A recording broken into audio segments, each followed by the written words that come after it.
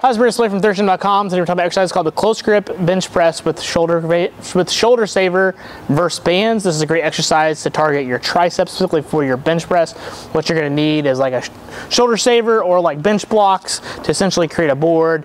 You're going to want your bands doubled up, like you're doing some dynamic effort work, and then whatever weight you're going to put on the bar. Um, this is great again for attacking the triceps or the mid-range portion of your bench press and the lockout. So you're just gonna get in your normal bench press position with a close grip and whatever that is, that's just whatever's close to you. So for me, I'm usually right around the rings with my pinky just slightly in.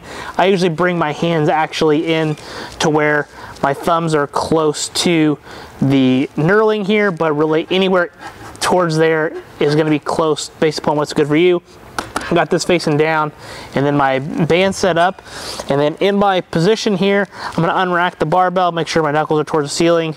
Upper back is set. Unrack the, the bar. Feet are good. Touch the chest brief pause and then press fast.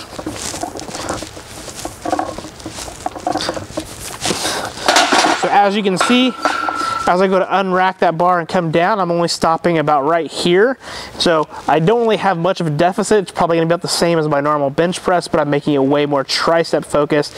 And then the bands, are constantly pulling down the whole time and then I've got to press faster into those bands throughout each rep making it more tricep emphasized but also making sure that I finish the lockout of the rep so when it comes to the, the bands, they're, as I said, actually gonna pull down. So that's gonna make them more difficult and really make you have to drive through particular areas of your bench press or whatever you're focusing on for this.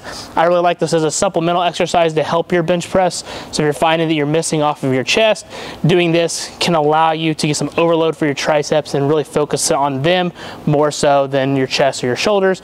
So if you're gonna do that, you're probably gonna have two to four sets of like five to 10 repetitions, depending on how much volume of work work you want to do. If you're in more of a strength-based phase, getting ready for a meet, you're probably going to drift more towards those fives, maybe even some threes. But if you're really trying to put some size on your arms, really help for your bench press, then you can do more to acquire more volume. And again, I really like doing this after I've done even my dynamic effort work. Uh, so if I've done some speed bench with the bands on, I can throw the shoulder saver on and then I can continue to go to work focusing on a specific area that I need to with that close grip or again, you could even do this after your main close grip work for the day, throw the board on and really focus on more of a area of your close grip that's struggling that then ultimately gonna help your bench press. If you any questions, let me know in the comment section below. Thanks, have a great day.